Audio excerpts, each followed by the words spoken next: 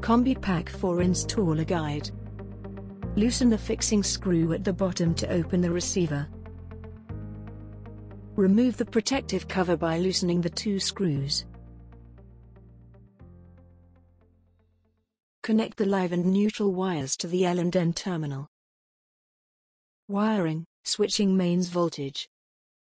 Use a wire to link terminal L to terminal 2. When the thermostat calls for heat, mains voltage will be switched out on terminal 3. Wiring, switching low voltage. Remove the link from the low voltage terminals on your boiler. Wire a 2-core cable from the low voltage terminals on your boiler to terminal 2 and 3 on your receiver. When the thermostat calls for heat, low voltage will be switched out on terminal 3. Wiring, OpenTherm. Remove the link from the OpenTherm terminals on your boiler.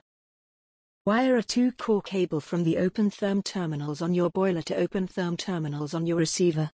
The thermostat will modulate your OpenTherm boiler based on demand. Consult the boiler installation instructions before wiring.